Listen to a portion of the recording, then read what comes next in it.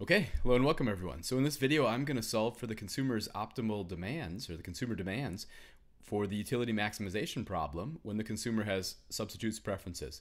I'm going to begin with perfect substitutes preferences and then I'm going to move on to thinking about observing the actual substitutability between one good and the other in response to a price change, and then I'll do a numeric example.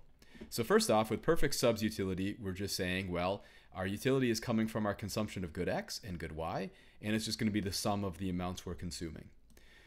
I am going to assume a generic budget constraint. So this is just going to be my expenditure on X plus my expenditure on Y is going to exhaust my income. Expenditure is just the price of the good times the amount you consume, right? And there's actually going to be three possible outcomes. And what I'm going to do is I'm going to draw the indifference curves. I'm going to draw the possible budget constraints. My indifference curves all have to have a slope of negative 1 because my marginal rate of substitution is going to be negative 1. In absolute value, it's 1, right? Because my marginal rate of substitution, my slope of my indifference curve, is just going to be the ratio of the marginal utility of x to my marginal utility of y.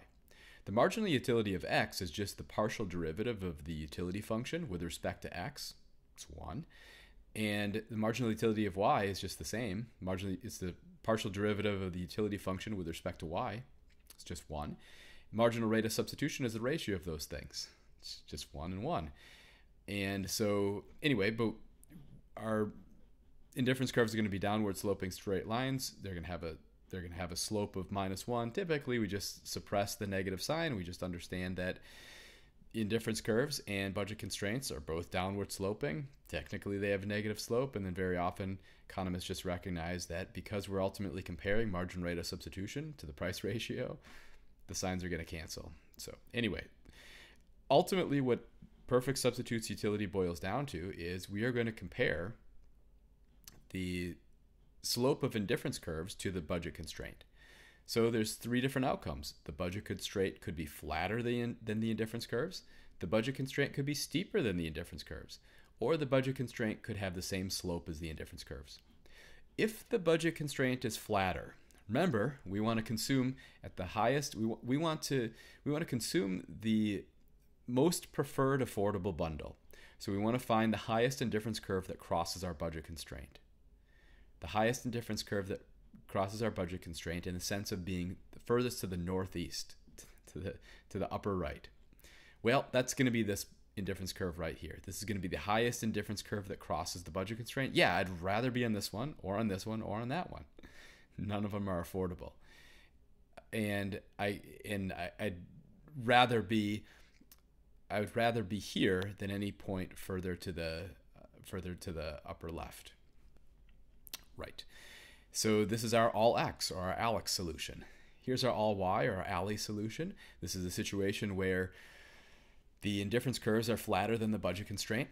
So we have a we have a situation where our highest possible indifference curve is going to be crossing the vertical intercept of the budget constraint, right? Yeah, I'd rather have this indifference curve, but it doesn't cross my budget constraint. And I no longer want to be down here because there's much higher indifference curves that I can be on if I move up my budget constraint.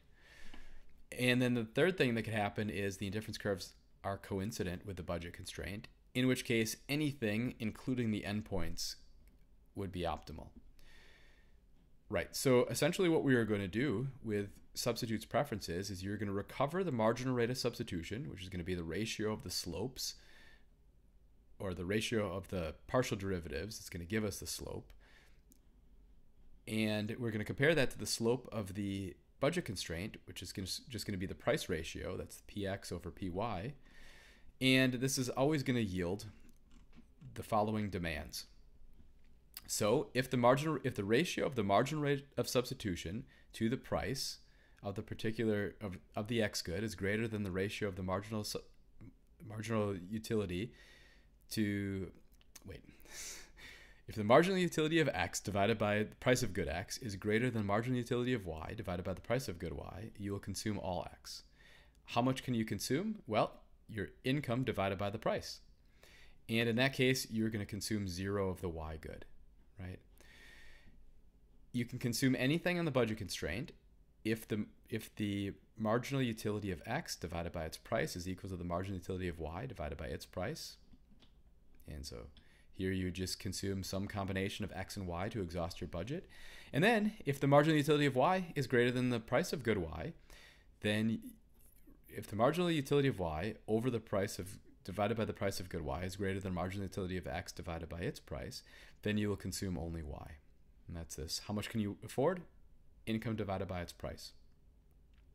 Right. So notice this statement is our bang for your buck principle. This is essentially saying how can I most increase my utility given the price required to make that increase? So that's a comparison of the, mar- of the ratio of the marginal utility to its price. This is exactly the same as, consu- as comparing marginal rate of substitution to the price ratio. Marginal rate of substitution is just MUX divided by MUY. It's the same, uh, and then the price ratio is PX over PY. How do we get there from here? Cross multiply, right? So if we cross multiply, you'd get MUX over MUY and you'd get PX over PY. It's the same thing, same relationship. Okay, so then I say, what about this makes this perfect substitutes? Well, with substitutes, demand should respond to the other good's price. In other words, the demand for good X should be increasing in the price of good Y. The partial of the demand for X should be positive with respect to uh, changes in good Y. Well, I don't know. So my demand for X doesn't really depend on good on demand for Y. So let's see. Can we at least observe this type of uh, substituting behavior here? Well, let's see the substituting behavior beginning at the all y at the alley solution. What happens when the price of good y rises? Well, as the price of good y rises, let's just say like let's say that let's say we have $12 and the price of good y is $12 a piece. Then we can buy 12. Now suppose the price of good y doubles to $2 a piece. Now we can buy 6. And so the maximal the vertical intercept is going to be shifting, is going to be falling down towards the origin. So as the price of good y increases, the denominator gets larger and the overall ratio gets smaller. So this intercept falls closer to the origin, and in, in doing so, the budget constraint is going to flatten. And as the budget constraint flattens, at a certain point, it's going to become the same slope as the indifference curve, and later on, it's going to become flatter than the indifference curve, and so you'll have steeper indifference curves, which would be the X solution, which would be the opposite of what we have here.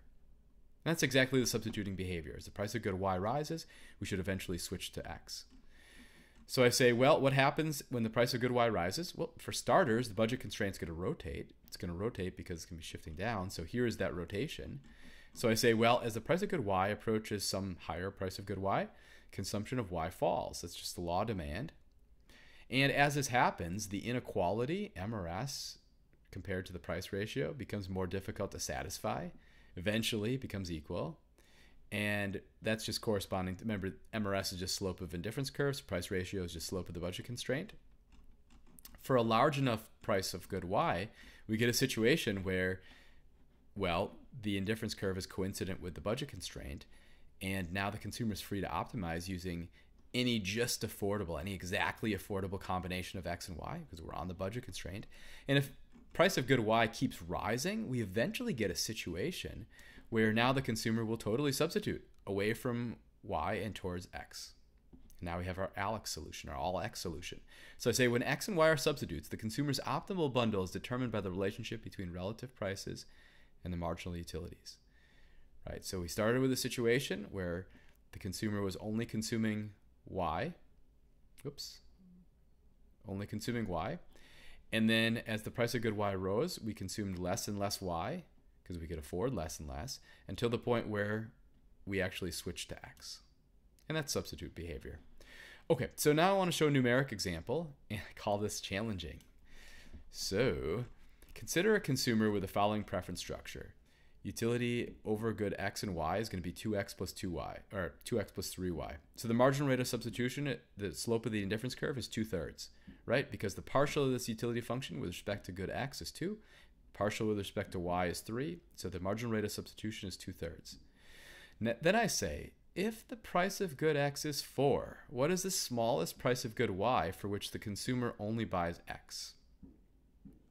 Right? So if the price of good y is price of good x is four, what's the smaller price of good smallest price of good y for which the consumer only buys x? And then for part B, I say, If the consumer has income m equal to 12, how much of each good will the consumer buy when the price of good y is 4? Okay, well, with substitutes, we get the all x solution when the marginal rate of substitution is bigger than the price ratio, or when the indifference curves are steeper than the budget constraint. So I'm going to manipulate this a little bit. I'm going to just cross multiply, and we get marginal utility of x divided by price of x is bigger than the marginal utility of y divided by price of y. I'm going to substitute in the things we have. 2 and 3 from the slope of our indifference curves, from our 2 thirds, right? We had the price of good x. We were told that was 3. Oh, price of good x is 4. So we had we were told the price of good x is 4. Um, price of good x is 4. Oh, great. So if the price of good x is 4, then what do we want? Price of good x is 4. And now I've got to fix this. Okay, so the price of good X is 4. Why is this not letting me draw? In the middle of the video. Oh, that's... Hey, that's kind of neat. I didn't know that would do that. Name in white paper and it becomes... Oh, wow. Cool. Only not in the middle of my video. So we want the price of good we want the price of good X to be 4. Great. So, um, see, the thing is, I really, really do not want to have to make this whole video again. And I really, really do not want to edit this part out because I am the laziest person I've ever met. okay, so we're just going to walk through this with this being a 4 instead of a 3. So we have, oh, man, I'm so stupid. Right. So we're just going to walk through this with this being a four instead of a three because it's written right down here. So price of good Y has to be bigger than, has, has, we're, we're at, so